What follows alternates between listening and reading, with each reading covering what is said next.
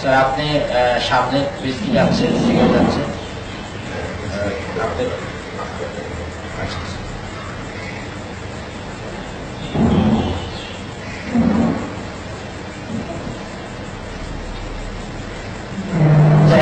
দেখা যায় যে আমাদের এমপি এবং মিনিস্টাররা ওনারা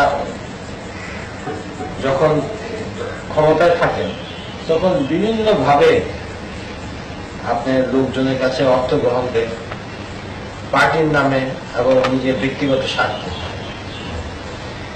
আমরা কীভাবে স্যার এই জিনিসগুলো বন্ধ করতে পারি, স্যার, আমাদের স্থানীয় ব্যক্তিদের পক্ষ থেকে? আপনার দুই রকম হয়। একটা হলো আপনার কেউ কেউ এসে দিতে চায়, আর কেউ আপনার চেয়ে নেন অ্যাকচুয়ালি কিন্তু এক সুন্দর হবে আমার মনে হয় যে চেয়ে নেওয়ার সংখ্যাটা লোক বেশি। আমাদের যে কাজটা সেটা এবং এই যে আপনার যে এখনকার যে পদক্ষেপ আপনারা নিয়েছেন, যে আপনারা যে ধরেন আমাকেও কয়েকজন দিয়েছেন, এবং আপনারা এই ব্যাপারে প্রশ্ন করছেন, আমি আমি আমি বলছি যে যে আমি তো চাই না তারা আমাকে দিতে। কারণ আপনার তো আপনি যাওয়া তাকে তো ছাড়তেছেন সুতরাং এই বিষয়গুলো এখন আরও সতর্ক অবস্থা আসবে কার কাছে চারটার কাছ থেকে টাকা নিতে চাবে না এটা আপনার ভালো। আমরা আমি আমার কথা বলতে পারেন আমি কারও কাছে টাকা এবার কয়েকজন এটা এমনি বিভিন্ন কারণে তাদের কি পারপাস ছিল, আমি অত গভীর করে বুঝতে পারি সেজন্য আমাকে দিতে আমি স্যার, আপনি যখন এই কথা বললেন, কালকে মিস্টার আজম আমাদের কাছে এসেছিল। উনি একটা দরখাস্ত দিয়েছেন। ওখানে উল্লেখ করেছেন যে আপনি টাকা না দিলে ওনার প্রজেক্টটা আপনি করতে দিতেন না। আর এই ব্যাপারে আপনি বারবার ওনাকে প্রেশার দিচ্ছিলেন এবং সে লাস্টে আপনি টু পার্সেন্ট একটা সমঝোতা হয় প্রকল্পের কাজের অর্থে টু পার্সেন্ট আপনাকে দেওয়া হবে।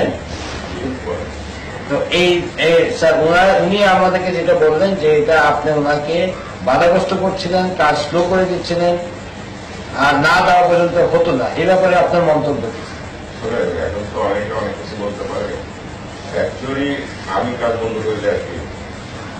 আমার সে সময় আপনার মন্ত্রীও ছিলাম এবং পার্টিতে এবং না পাওয়ায় আমি রাজনৈতিকভাবে আপনি, আমি একটু দূরে ক্ষমতার একটু কেন্দ্রবিন্দু থেকে দূরে আমি ওনাকে কাজ কীভাবে বন্ধ করি আগে তো এই বিষয়টা আছে। কারণ এই এই কোম্পানিকে সাথে সে অনেকদিন কাজ করে। তিনি তিনি কিন্তু নিজেই আমার বাসায় এসে বলছে যে দীর্ঘদিন হচ্ছে না আপনি একটু সহায়তা করুন। এটা ঠিক না। আমি তো অনেকে অনেক কিছু বলতে পারি। আচ্ছা স্যার আপনার এই টাকাটা আপনি বলছেন আপনি দুই কোটি টাকা নিয়েছেন। দু করছি না ওইরকমই হয়। কিন্তু উনি তো বলল দুই কোটি সাতানব্বই লক্ষ টাকা। হিসাবে যেটা আছে। ওনার চেকগুলো আমাদের দেখিয়েছেন। ওই তো হিসাবে যেটা আমি আমি তো এখানে বসে আপনার ওইভাবে হিসাব করি আমি বলছি টোয়েন্টি সেভেন মিলিয়নে টু পার্সেন্ট যেটা হয়েছে তাই স্যার। কিন্তু সেটা আসে আপনি কিন্তু আমাদেরকে হিসাব দিয়েছিলেন দুই কোটি টাকা। আড়াই কোটি যে ওই হিসেবে কে ধরা একটু বেশি। স্যার ওই ডিস্ট্রিবিউশনটা ছিল স্যার? তো বলছি তো ডিস্ট্রিবিউশন হচ্ছে আপনার রেহানারে পঞ্চাশ আর ওইখানে কোথাও বাড়িয়ে সব আমার আহ, আর বাকি পঞ্চাশ কোথায় বাংলা স্যার? বাংলা বাড়িতে একটা লোনের টাকা ও ইয়ে, পত্রিকা? পত্রিকা। আচ্ছা।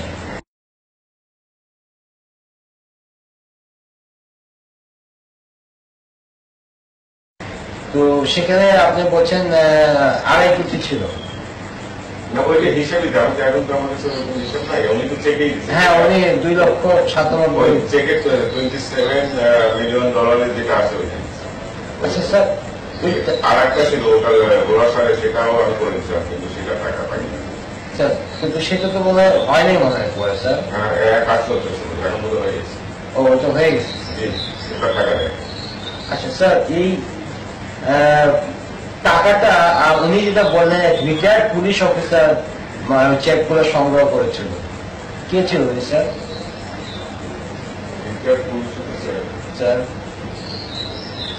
মানে সব বিভিন্ন ফেজে উনি দিয়েছেন। তার মধ্যে চেক কালেকশনে একজন রিটায়ার্ড পুলিশ অফিসার ছিলেন। ওই আমার আমার সাথে? স্যার ওই ওই আপনার হ্যাঁ retire police officer Mirza Mirza নামে এক লোক। উনি তখন কি রিটায়ার্ড ছিলেন স্যার না তখন- রিটায়ার রিটায়ার তখন উনি রিটায়ার্ড ছিলেন? জি জি আমার সাথে ওই বঙ্গবন্ধুর সিকিউরিটি নাম ওনার র্যাঙ্ক কি ছিল স্যার? উনি বোধহয় এসপি বোধহয় নাকি কোনো এসপি অনেক আগে তো শিক্ষা করছে। উনি কিন্তু স্যার বিস্তারিত তথ্য নিয়ে আজকে আসতেছেন আমাদের মাঝে। এবং ওর ভিতরে উনি বললেন যে রিটায়ার স্যার চেকগুলা কি কোনো অ্যাকাউন্ট পে ছিল না ক্যাশ ক্যাশ চেক ছিল।